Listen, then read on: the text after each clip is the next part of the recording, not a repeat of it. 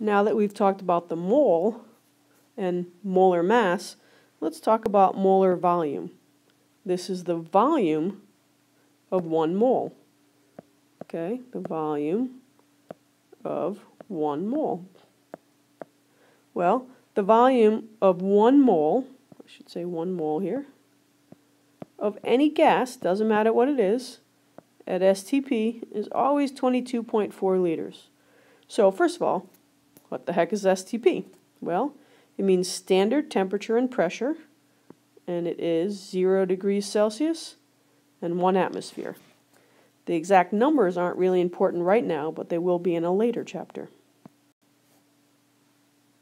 So the molar volume of a gas is always measured at STP, and it's 22.4 liters for one mole of any gas.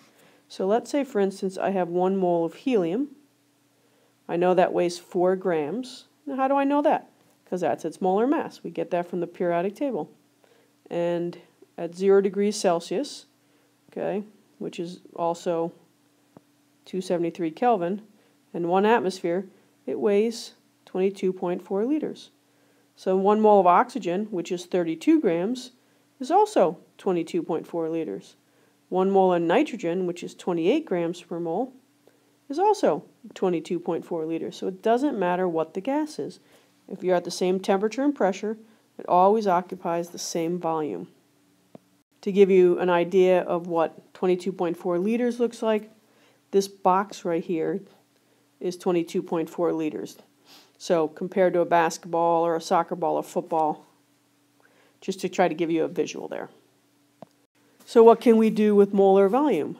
Well, what is the volume of 1.25 liters to 1.25 moles of neon gas? So I've got a gas and I'm at STP. So I say 1.25 moles. And I want to change moles to liters.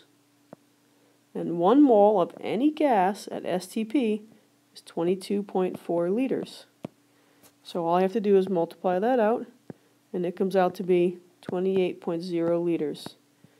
So 1.25 moles of this gas would occupy 28 liters, which makes sense, right? One mole occupies 22.4 liters, one and a quarter weighs about occupies about 28 liters. Doing that backwards, how many moles of CO2 gas will occupy 12 liters at STP? So go ahead and start with your 12 liters. Change liters to moles. One mole always occupies 22.4 liters.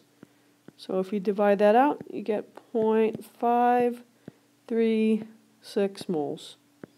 And that's really all there is to molar volume.